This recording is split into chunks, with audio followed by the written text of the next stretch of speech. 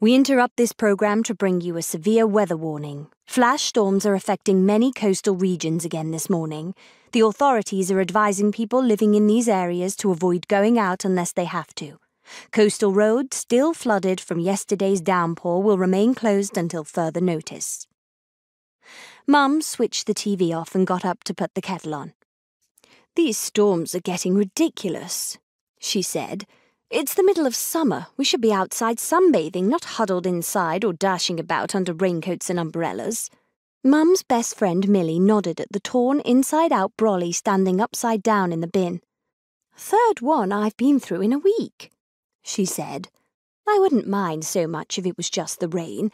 It's the howling wind I don't like. It's been giving me bad dreams, and the waves crashing over the pier don't exactly help create a calm space for my meditation and visualization group. Meditation and Visualization was Millie's new class that she ran from King, the boat she lived on near us in Brightport Harbour. King was our old boat, but we'd moved to a new one when my mum and dad were reunited. Mum's human, and Dad's a merman, and our boat, Fortuna, has been specially adapted so that you can live above and below water on it. I'm a semi-mer, human on land, mermaid in the water, which means I get to live both above and underwater.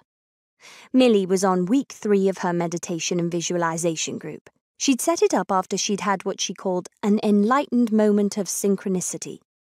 Enlightened moments of synchronicity are the kinds of things Millie has a lot of. She doesn't worry too much that no one knows what such things actually mean. I don't see what the fuss is about, I said. The storms only last half an hour, and the rest of the time the weather's been beautiful. I glanced out of the window. Look, it's clearing up already. Mum and Millie exchanged a look. What?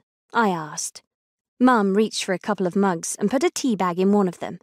Well, I'm not surprised you can look on the bright side, she said, a hint of a smile twitching the corners of her mouth. What do you mean? She means it's funny how everything looks rosier to those of us who have got a boyfriend, Millie said. Then she cackled with laughter and got up from the sofa. Only teasing, lovey. Don't worry. She went on, squeezing my cheek as she passed me. Earl Grey for me, Mary P., she added, joining Mum in the kitchen. Whatever, I said, turning away from them both, so they couldn't see the flames creeping up my cheeks, or the smile that I was finding it hard to keep off my face.